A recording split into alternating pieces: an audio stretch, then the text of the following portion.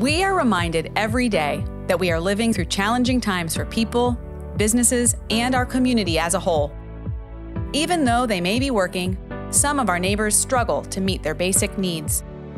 We know that more can be done to ensure that people survive and thrive.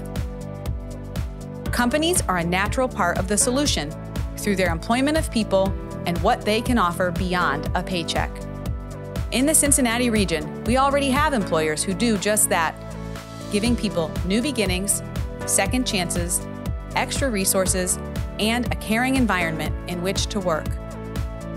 We have companies working to be diverse, equitable, and inclusive across all levels of their organizations and to truly cultivate belonging where all people are valued.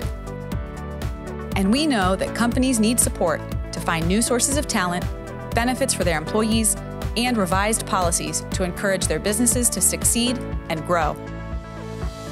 The Workforce Innovation Center can help through our consulting services focused on workforce and talent solutions.